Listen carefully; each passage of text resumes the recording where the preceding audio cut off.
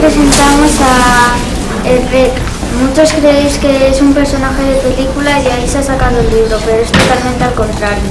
Primero se creó el libro por William Stein y después se sacó la película. Este libro nos enseña que la apariencia no es lo importante. Empieza así. Su madre era fea y su padre era feo, pero el Rec era más feo que los dos juntos. Nada más da sus primeros pasos y era capaz de escupir llamas a 91 metros de distancia de echar por las orejas.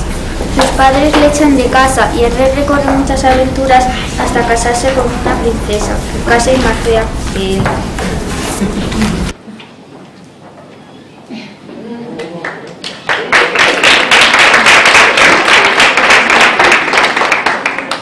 Ahora nosotras tenemos a Nat y el secreto de Eleonora, que la película se transforma en series y los cuentos.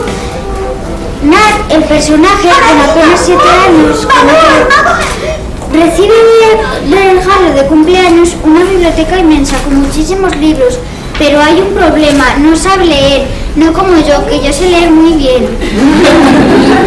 Esta es una historia de superación que sobre todo eh, remarca el interés y la, el interés por la- el aprendizaje de la lectura, en el que hace referencia a múltiples personajes de historias eh, muy relevantes en la literatura infantil, como pueden ser El gato con botas, de Blancanieves y de todos los cuentos clásicos que conocemos.